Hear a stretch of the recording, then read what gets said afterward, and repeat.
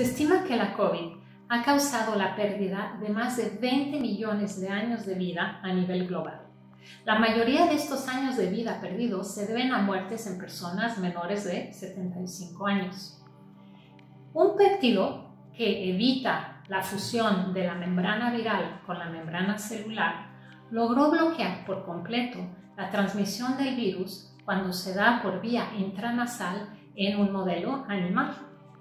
Y desde Escocia llegan resultados preliminares, indicando que cuatro semanas después de la primera dosis de la vacuna de Oxford o de la de Pfizer, las hospitalizaciones en personas mayores se redujeron en más del 85%.